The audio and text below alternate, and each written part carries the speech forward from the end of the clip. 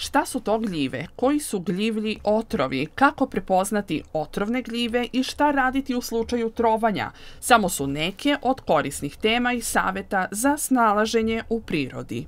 Predavanje je namenjeno početnicima, onima koji su nešto malo krenuli da se interesuju za gljive i koji bi želeli da se malo slobode e, kada krenu u šumu. Ovo je jedno iz serije predavanja koje smo planirali za ovu godinu, a želja nam je da malo edukujemo građane Vranja i Pčinskog regiona na temu gljiva, mikologije, upotrebe gljiva.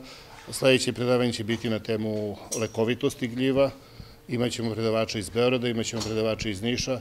O tome da li je potrebno predznanje za ulazak u šumu i snalaženje u prirodi, gljivar Vladimir Janjić je rekao. Predznanje za prvi ulazak u šumu apsolutno nije potrebno, ali je neophodno da imate nekog ko će vas voditi za početak. Da sami krenete i da odmah krenete da berete i jedete, imao sam pitanje i moj odgovor to je otprilike ruski rulet. Dakle, šanse imate da, da preživite, ali boga mi imate šanse i da ne preživite.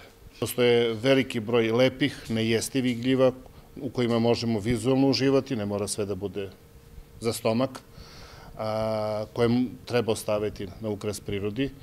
Postoji veliki broj gljiva koje su sitne, neinteresantne, ni vizualno, ni gastronomski i postoji određeni broj krupnih, velikih gljiva, od kojih su neke otrovne, a neke su nejestive, jer ima i takvih gljiva, i tim nejestivim gljivama se nećete otrovati. Jednostavno, ili su previše gorke, ili previše ljute, ili previše tvrde, jednostavno se ne mogu pojesti. Glivar Vladimir Janjić dalje objašnjava da apsolutno ne postoji čarobni način za prepoznavanje jestivih od nejestivih, već da je neophodno poznavanje vrsta gljiva.